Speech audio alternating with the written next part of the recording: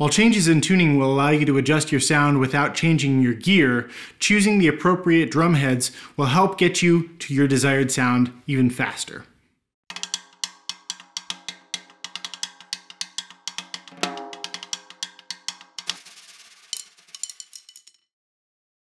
With so many different drum heads available on the market today, it can be difficult to figure out what's going to be the best fit for your needs and your desired sound. Should you go with a single ply or double ply? Do you want a control ring around the outside, vent holes?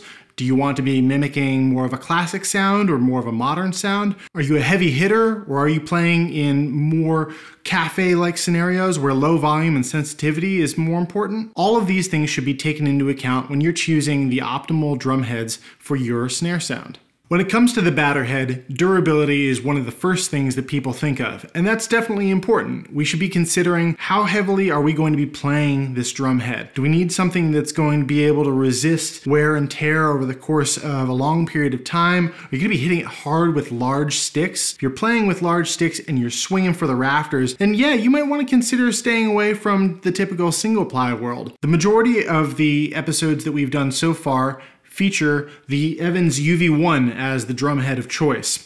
And this is really just because it's an incredibly versatile option and though it's a single ply drum head, it's still incredibly durable and works really well if you're going to be playing a wide variety of styles and if you're going to be hitting harder, if you might be playing a little bit softer, but you're going back and forth between all those different options. Aside from your playing style and the musical context in which you're going to be performing, whether you're playing with a band, whether you're playing with microphones on the drums, or maybe you're even just practicing for yourself. Maybe you're playing in a small apartment, maybe you're playing in a small practice room, or maybe you've got the luxury of playing in a recording studio on a regular basis. Durability is not the only thing that needs to be focused on when it comes to the choice of your batter head. Considering the drum that you're going to be using this head on is incredibly important. Are you using a drum that's more versatile, such as, for instance, this Ludwig Supraphonic? Or are you looking for something that's more specific? Are you looking to have one tone, one sound coming specifically from that one drum, and that's always going to be your go-to drum for that sound? Generally speaking,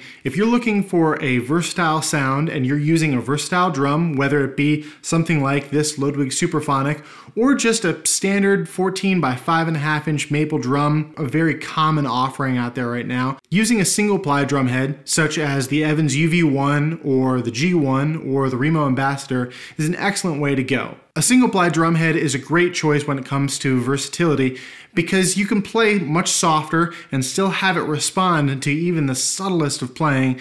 At the same time, you can really lay into it and there's really no noise ceiling there. It's all dependent on the space and, of course, the drum. If you happen to have a variety of drums to work with, or you're looking for just one specific sound out of that one drum, that's when you can start choosing slightly more modified drum heads that will allow you to achieve a specific sound without having to worry about additional muffling being added after the fact. There are all sorts of options out there for specific sounds that still have a degree of versatility to them, but it depends on what the changes are in the construction. If you're looking for a synthetic alternative to a natural calfskin drumhead, or you find yourself often putting tape and other muffling devices on your drumhead and you want to go with something that has vent holes or an overtone control ring around the outside. Or maybe you're looking for a really fat tone, something that you can just tune low and have a fat sound out of it and not have to worry about placing additional muffling around the outside. And you might get a cool aesthetic out of it too. There's so many different options to choose from.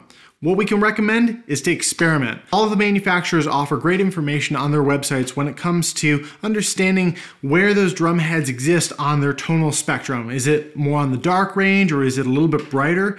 Generally speaking, you'll be able to get an idea for the kind of sound that you're going to be able to get out of that drum head. At the end of the day though, nothing can replace experimenting with drum heads on your specific drum, in your room, because there are so many different factors that will come into play when it comes to achieving that specific specific sound that you're looking for. While your choice in batter head has a lot to do with the sound that you'll be able to achieve out of your drum, the snare side head also provides a lot of influence over the tone that you'll receive and the snare response. Snare side heads are a fraction of the thickness of the typical single ply batter head because they need to be able to respond to the transfer of energy from the batter head. What that means is when you strike the batter head, energy is transferred to the snare side head, moving the snare wires and creating the response that you would expect out of a snare drum.